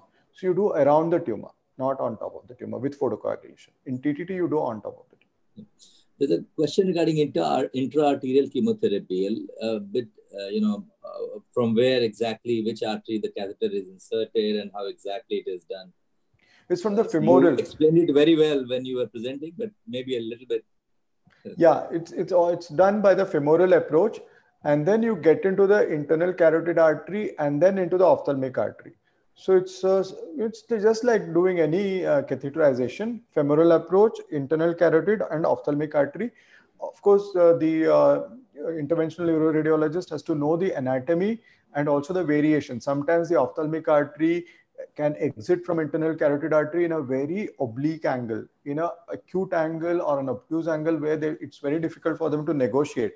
Sometimes the ostium may be very small. In those situations, what they do is they balloon, they go beyond the ophthalmic artery and then use a balloon to occlude the internal carotid for a few minutes and then you inject so that the drug prefer preferentially gets into the ophthalmic artery and you have to blanch the nasal mucosa because of the escape otherwise the drug has because of nas nasociliary secretion etc i mean uh, circulation. So uh, this is how we do it. So get into the ophthalmic artery from the femoral approach then regarding intravitreal injections if you have to repeat the injection Aditi wants to know that do you use the same uh, quadrant the same side or you vary the quadrant? Any anything specific on that? Yeah first is to choose the quadrant. You always choose the quadrant where there is no tumor. There was no tumor or no scar. And then you stick to the same quadrant always. Unless something new happens. Suppose a tumor develops in that area or a small conjunctival cyst develops because of repeated injections and cryotherapy, then you change the quadrant. Otherwise, you always stick to the same quadrant. Again, to know which quadrant you are given always makes it safe because if there is a small extraocular extension, etc., you can readily recognize it. If you change, keep changing your injections and cotton, then it's very difficult sometimes to pick up subtle extraocular extension, which is a theoretical risk. So you stick to the same cotton. There are a couple of questions regarding, again, very, uh, for which you'll have to take another lecture, actually, maybe very long questions. But a few things regarding uh, how to apply intracameral topotecan. Well, intracameral topotecan is uh, you know you have to actually drain out a bit of aqueous. So when you do all these injections you make the eye slightly hypotonous your process of doing indirect ophthalmoscopy 360 degree indentation of the sclera would have itself made the eye hypotonous you can do a good digital massage. And then with the same needle that you inject, drain out a little aqueous, then attach the syringe, then you inject 5 micrograms of topical. The dilution and all I can pass on because dilution is something very complicated. I can't explain uh, orally or in a slide. It's a protocol. It's actually written sheet of paper which is stuck on the OR wall. You don't have to remember. You simply have to follow the rules. Uh, then there is one question regarding uh, when do you start combination of uh, IV chemotherapy with focal treatment? Well, until three cycles, you don't do any focal treatment. Focal in the sense no laser, no uh, nothing else until three cycles. From the fourth cycle onwards, you start TTT. That's because when you start doing focal therapy, there is some amount of inadvertent vascular occlusion. So the goal of chemotherapy is for the tumor to take that drug but if you have occluded the blood vessels that are supplying the tumor, how would a tumor get the maximum or optimal amount of drug into it? So your TTT is always started after the third cycle, along with the fourth cycle. But cryotherapy, you can start early. That's called chemocryotherapy that breaks, breaks the blood retinal barrier. Then there are many messages regarding, you know, congratulating you for an excellent presentation. And there are many more who who have really liked your presentation just as I did. Then there's one more question regarding uh, management of cystic type of tumor in retinoblastoma. And right. There is no yeah. regression pattern in that, so difficult to ascertain when to stop TTT and chemotherapy, etc. Yeah, cystic retinoblastoma is a variant. It's a well-differentiated tumor, generally uh, associated with the retinocytoma component located in the posterior pole and seen uh, in any age group for that matter. It has a poor response to chemotherapy because it is well differentiated. Now, clinically, you have no way to say whether it is completely retinocytoma variant or there is a low activity in the tumor. You give chemotherapy for six cycles, but it doesn't respond completely. The size of the cyst may slightly increase and the size of the solid component may slightly decrease. That is how it remains. Now, what do you do thereafter? I would take good pictures on RETCAM and follow up the patient serially. As long as there is no increased vascularity, no increased subretinal fluid or new onset subretinal fluid, no change in color, no change in thickness, no change in diameter, then you do nothing about it because you now you have a stable regression. Stability itself is a regression pattern, right? So in cystic retinoblastoma, stability is considered a regression pattern. If there is any change, the ones that I mentioned, then you start treating it. Treating can be either by focal therapy such as TTT or by doing plaque brachytherapy. Well differentiated tumors actually even don't respond so much to radiation. So even, even when you do plaque, you have to do a higher uh, dose of plaque, about 6,000 centigray. There's one question which is, uh, you know, regarding the current scenario when mm. we are having corona pandemic. So any uh, SOPs devised for follow-up of retinoblastoma patients in this pandemic, yeah. as most are immunocompromised, and most of our hospitals have changed to COVID wards, etc.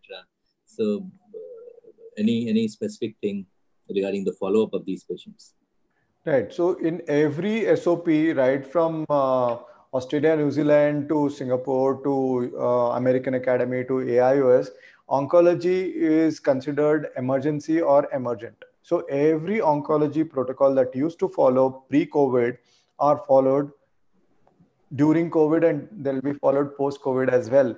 But of course, general anesthesia is critical. So you have to make sure that uh, PPE is used and these children are screened before they come into the OT. Parents are screened before they bring the child into the OR area, all that. So initial screening we do. And then we do exactly the same of course, there would be immunocompromised status that you cannot because retinoblastoma itself is a life-threatening condition. So you have to take that bit of risk. It's all explained to the parents, explained consent is taken, but then you have to continue to do what you're doing. There is no change in the protocol as such, absolutely, in terms of uh, treatment or follow-up. We are doing exactly what we're doing. There's one basic question regarding how to differentiate retinoma from retinoblastoma.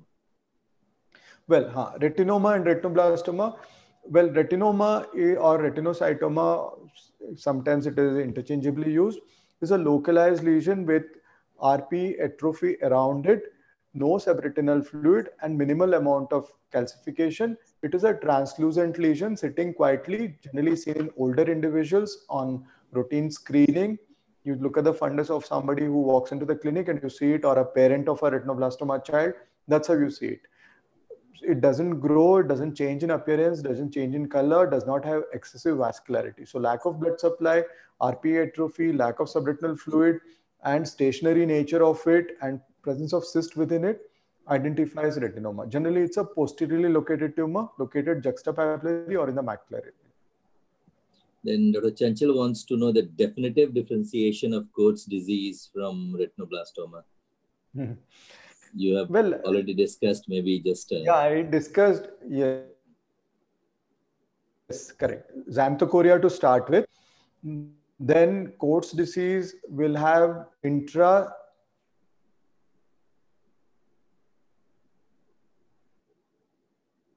definite point in favor of Coats disease. And um,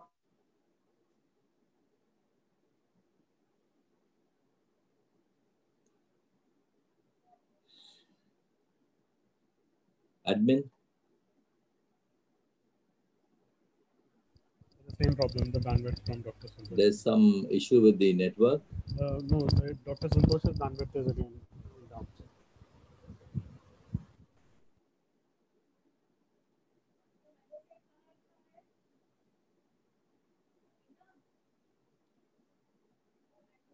Yeah, Dr. Santosh, you're back. Yeah, okay. Sorry. Yeah. So there was some yeah. issue with your. So you're ending it, is it? Right. Coats disease can mimic retinoblastoma so closely that it is almost uh, impossible to differentiate. I personally had a situation where there was a child who was a VIP child, so everybody, retina consultants were there. I was there. I was called in to see the patient. Uh, senior retina faculty saw the patient. They said it is Coats retina fellows saw everybody said it is Coats i saw i said it is Coats and i took a picture i showed my fellow see how typical Coats this is. Then nobody had seen the left eye of the child. This was all about the right eye.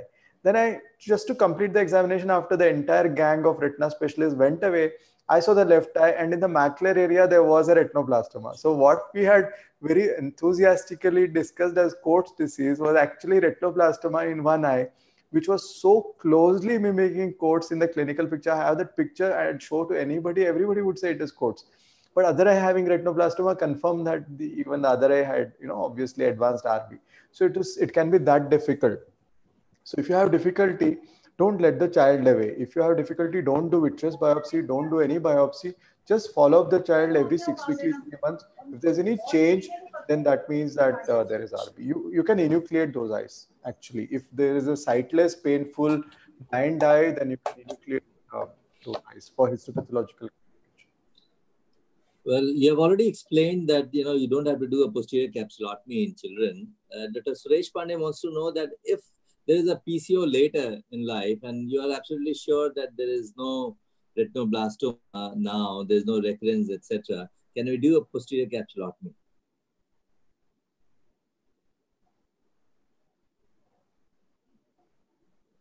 Dr. Santosh, can you hear me?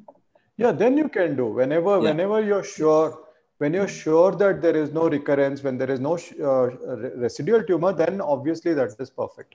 You can do posterior capsulotomy, surgical or even for that matter, laser. Well, there are a few more, but I'll just take this last question for you. What is your timing for EBR in multimodal treatment for extraocular retinoblastoma before or after adjuvant chemo? Well, it is sequential. So first you give neoadjuvant chemotherapy, confirm that there is no orbital residual, then you do enucleation, then immediately following enucleation, that is after three weeks, you start radiation, complete radiation, and then you go for adjuvant treatment, adjuvant chemotherapy. So radiation comes right after surgery. You don't wait. Santosh, I must tell you that you have a lot of stamina and you know uh, discussing things and explaining things. It was really mind blowing, very well explained, and uh, many things that you know I have forgotten about retinoblastoma, and it was a good revision for me as well because I don't deal with it. Now, just the last thing I would like to listen from you is that you know not many people deal with retinoblastoma, right? So, hmm. uh, what is your message for people that you know uh, when to what to do themselves. I mean, what should the ophthalmologists do themselves? Then when to refer, and you know uh, what precautions to be taken. I mean, just the final message from you to all the ophthalmologists. Yeah, first thing I would tell you is that if a if a parent comes to you with a child complaining of abnormal white reflex, never ignore their complaint because they are very sure when they come to you. Otherwise, nobody wants to bring a child to an ophthalmologist. So many of these children are missed because either the pediatrician or the primary care ophthalmologist don't believe the complaint of the patient and just reassure them and send them away. Second is if a child has squint, always look at the fundus. Many squint surgeries have been done without looking at the fundus. That is a sad situation. No fundus evaluation with retinoblastoma, squint surgery has been done. You know, that should never happen. So we are at the you know situation where we can actually diagnose retinoblastoma early. So any child with complaint of even red reflex, make sure that the child is dilated and the fundus is seen. Any squint child, fundus is seen. That is how you diagnose. Once you diagnose, and if you don't have the ways and means of treating a child, then you have to send the child to a, institute or a hospital where uh, retinoblastoma is managed in a protocol-based manner. Thank you, Dr. Santosh. And uh, I would like to thank you for an excellent presentation and very nice explanation for all the queries. I would like to thank the admin as well as the staff of uh, office, Kirpal Rana. And uh, I would like to thank all the attendees who attended it. And they were really, you know, uh, very enthusiastic. They were very, you know, asking so many questions. And it was a wonderful webinar. Thanks a lot to all of you.